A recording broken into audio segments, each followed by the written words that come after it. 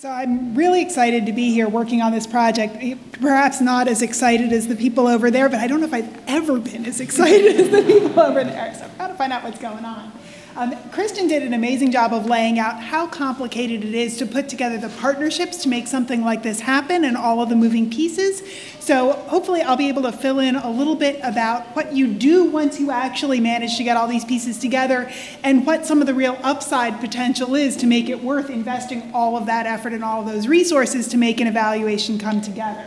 So this is a really novel opportunity in a couple of different ways. The nurse family partnership model has been around for decades. The idea is for nurses to go to the homes of first time low income moms during their pregnancy and for the first two years after the kids are born to try to give them the kind of social supports, education, information, access to other uh, programs, really integrate them into the social safety net, and give them the resources they need to have healthy pregnancies and healthy kids. And the reason that marries well with the idea of a Medicaid waiver is that if they really are able to succeed in keeping kids out of the emergency department and out of the hospital, reducing preterm birth, increasing birth spacing, that in principle ought to save money for Medicaid because they will spend fewer dollars downstream. So that kind of early childhood investment can pay long dividends if that all works.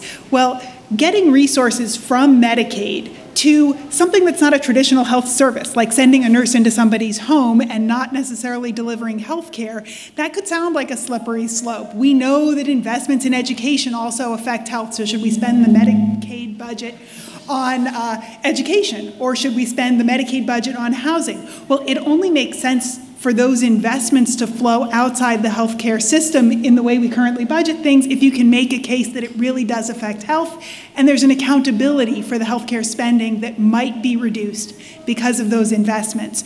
So you really need to measure those things, but if you can, it can free up program flexibility to break down silos so that you can have some of your programmatic budgets from Medicaid or welfare or education go where they're actually going to do the most good and only go there if they actually work. So the combination of the accountability through the social impact bond, pay for success kind of framework, the Medicaid waiver to have more flexibility for what to do with the Medicaid dollars, and then the rigorous evaluation to make sure that it actually worked before you throw more money at that.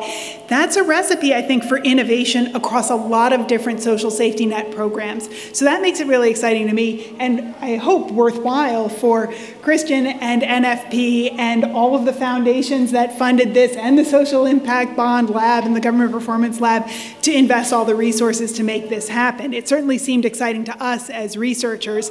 And there's some real challenges there, though, because the program's trying to scale up, as Christian said. Can it operate at scale? There's some early evidence from the 70s and the 80s that the nurse family partnership really did achieve those outcomes, and that's part of why those outcomes were the focus. But is that going to work at scale? This benefit's never been available to Medicaid recipients before. Maybe it performs differently in that population. Times are different. A lot of the evidence came from the 70s and 80s and, and early 90s the world is different. Medical care looks different. The population giving birth in South Carolina looks different. They're trying to operate at lower cost than they were before. So lots of things are changing, and it really does take rigorous evidence to make sure the program's delivering on those benefits. And that's a risk for the nurse family partnership, for the state. Their political reputation's at stake. There are millions of dollars at stake. And uh, Christian put it very well when thinking the program delivery people would kind of like to see the results before we go tell everyone about that. And that's not to impugn Nurse Family Partnership. They're wonderful partners in this. I think that's a universal phenomenon that people investing their life's work in delivering social safety net benefits are doing so because they think they work, or they wouldn't be spending all of their time and energy trying to do this. And as this is something that uh, I think evaluators the world around face as a challenge when you go into a program and say, Would you like me to tell you whether you're actually doing anything or not? They say, No, I'm all right, thanks. um, and don't worry, I'll tell everyone in the world at the same exact moment. Um, it doesn't sound like a really good idea to most people, but to the great credit of everyone involved, they really want to know if this works and they really want to uh, put their money behind the bet that it does. So, uh, there are four specific metrics that are part of the pay for success aspect of this, where if the program successfully reduces preterm birth, increases birth spacing, reduces childhood visits to the hospital in the ED, and targets the low income families that they think are most important to serve, then they have these success payments as a reward for achieving those goals those are really important outcomes, and I talked about why that's the underpinning of tying this to a Medicaid waiver. But as a research and health policy and social policy community, we're really interested in a much wider array of outcomes. In principle, and I think there's some suggestive evidence, investing in these early childhood health improvements ought to yield dividends in terms of kids' performance in school, reduced use of other social safety net programs, child protective services, improved employment outcomes for the moms. If you can increase birth spacing so that you have more healthy birth spacing as opposed to births in less than two year intervals, the moms should do better, the kids should do better. That should manifest in lots of different ways. South Carolina is an incredibly data rich state, and one of the reasons it was so exciting for us in JPAL and, and at Harvard to partner on this project is that we're going to be able to trace a really wide array of outcomes for many years to come using administrative data in South Carolina. And that's a really important asset that states and local governments have is access to administrative databases it's really expensive to go interview people.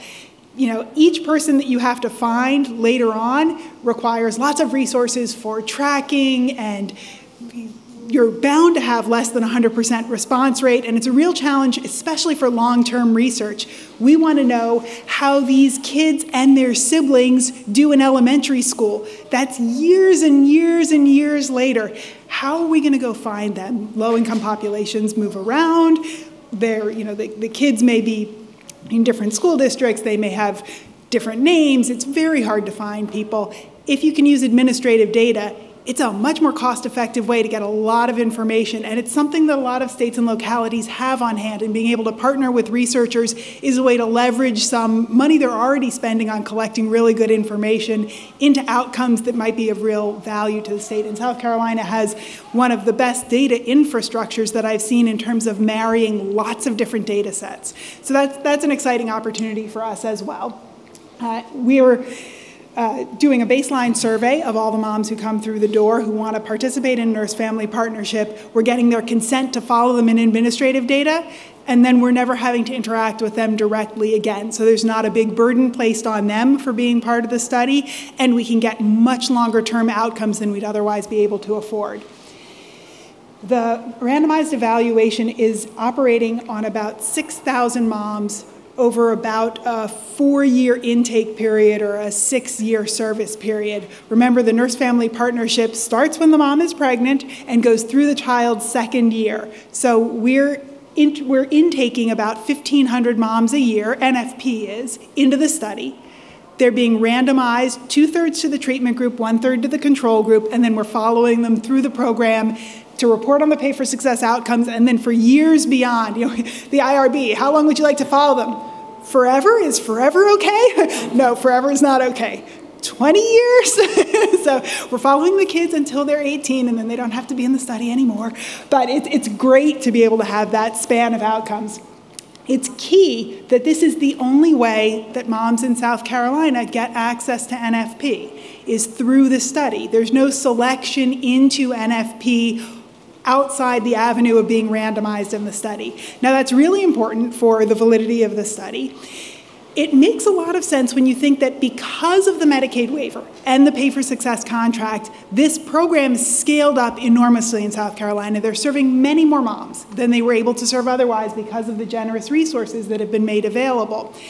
And so those extra resources are flowing through this randomization process to get a lot more moms access to NFP it all sounds fine intellectually, and I think it all is fine ethically, morally, intellectually, but it's really challenging to now have nurses who are out in the field have to randomize moms into treatment or control groups.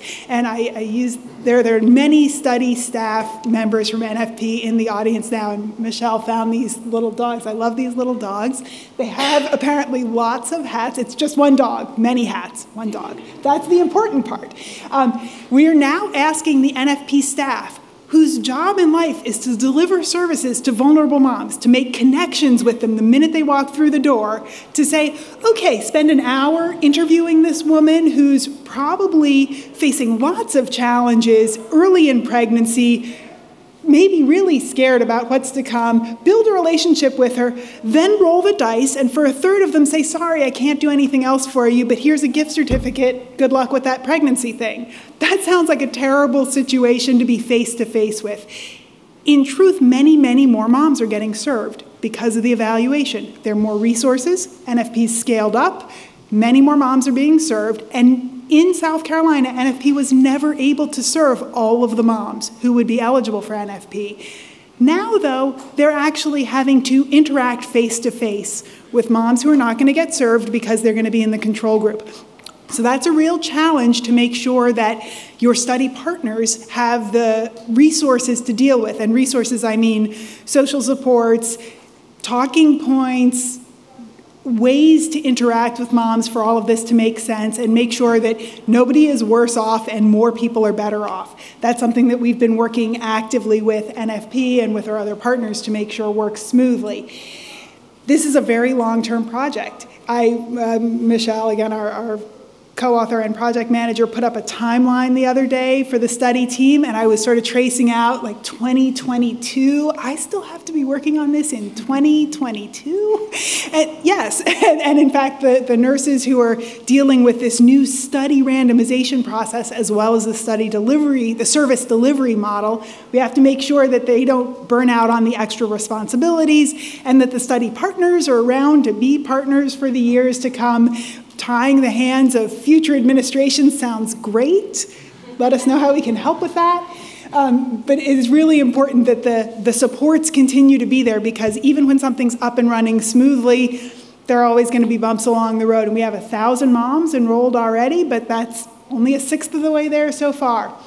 Uh, that said, key to getting this up off the ground, and I think a lesson for all kinds of projects of this sort is having a good pilot period. And th thanks to foundation funding for that, we were able to pilot this for a few months and work out a lot of the kinks along the road. This is the NFP model, delivering these services to the moms, that's well established. Throwing randomization on top of that you can write it down pretty simply. Oh, we'll just hand you a tablet. It's got a random number generator built in, and you'll just do that on the front end and then go about your business as usual. Of course, it is not nearly so simple, and working out all of the little kinks in, oh, we don't have Wi Fi service. What happens then? Or we need to add a question to the survey. What happens then? Uh, that was really important. Uh, but having overcome some of those challenges and now being up in the road, I want to close by just emphasizing what an important opportunity this is because we'll be able to generate the kind of evidence that I think will inform not just nurse family partnership policy and maybe expanding that program if it is indeed serving moms well and, and reducing uh, bad health outcomes and improving moms' economic well being, but also as a model for really working across program silos to deliver maternal and child health as well as other social supports outside of the traditional channels. Innovation in social service delivery, I think, is best accomplished with the kind of accountability that comes with the social impact bond or pay for success model. And if this works well as a demonstration of this kind of model, I'd love to see it applied in a much wider array of settings. So I will stop there and turn it over to our next panelist.